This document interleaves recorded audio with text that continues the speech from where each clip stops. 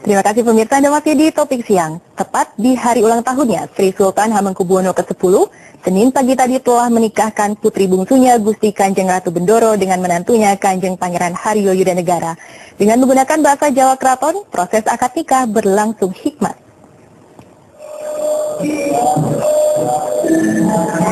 Prosesi akad nikah pernikahan Agung Keraton Yogyakarta berlangsung di Masjid Paneten. Sejak ini hari, para abdi dalam sibuk mempersiapkannya. Sekitar pukul 7 pagi tadi, proses akad nikah diawali oleh Sri Sultan Hamengkubuwono X tiba di Masjid Paneten dengan terlihat mengenakan pakaian kebesarannya. Di dalam kemudian adik Sultan Gusti Bendara Pangeran Haryo Prabu Kusuma tampak tiba setelah memanggil penghulu dan menjemput pengantin pria Kanjeng Pangeran Haryo Yuda Negara di Bangsal Sri Manganti. Pula adik Sultan lainnya Kanjeng Gusti Pangeran Haryo Hadibinoto dalam rombongan. Perempatan, perempatan, perempatan.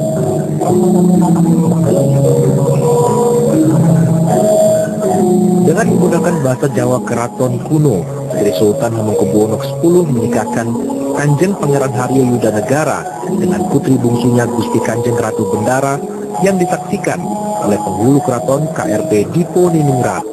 Meski belum lama mempelajari bahasa Jawa, pengantin pria terlihat lancar ketika mengucapkan ijab kabul. Abdi ingsun Kanjeng Pangeran Haryo Yudanegara.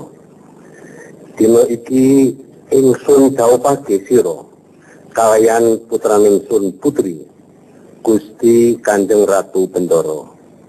Kanthi mas kawin kitab suci Al-Qur'an, perangkat salat sarta raja kaya iki.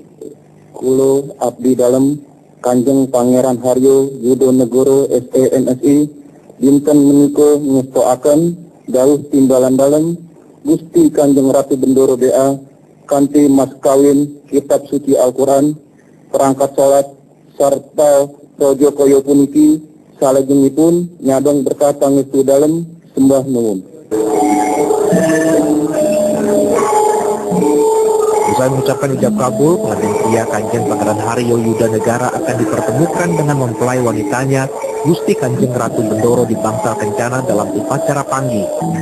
Rencananya sejumlah tamu VVIP seperti Presiden Susilo Bambang Yudhoyono, pejabat tinggi negara maupun tamu dari negara sahabat dijadwalkan turut hadir menyaksikan prosesi panggi. Santosa Suparman dan Siti Pamungkas melaporkan dari Yogyakarta.